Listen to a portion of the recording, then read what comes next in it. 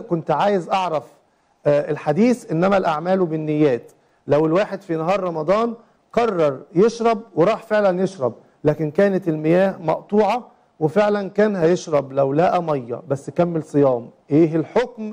ونقيس بقى على كده مواقف تانية بتحصل آه، في حياتنا. ده أول سؤال من على الواتساب يا شيخ رم- يا هو طبعا. آه، النية آه، على رأي كثير من الجمهور. يعني أو جمهور العلماء هي في ال- الأعمال فرض.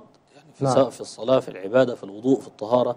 على بعض خلاف الطهارة طبعا الأحناف يعني لا يرونها آه، فرضا آه، في الوضوء. ففي الصوم ال- ال- النية مطلوبة في الصوم. نعم. فإذا ما نوى إبطال العمل وذهب لفعله فعلا طيب اللي, منعه إيه؟ ما فيش مية. خلاص هذا. صيامه بطل.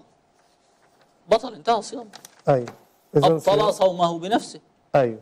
زي واحد اداك ادى صدقة وفي الآخر نوى إنها يعني مش خالصة. أيوه. من باب بس السمعة. نعم. خلاص أبطل بطل عمله. آه، نوى يفطر.